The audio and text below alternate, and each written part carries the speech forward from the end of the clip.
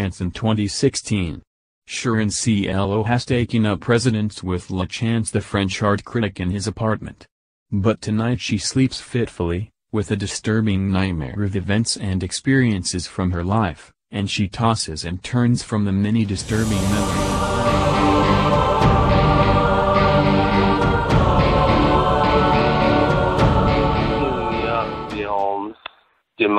Avec. Kyllä se vielä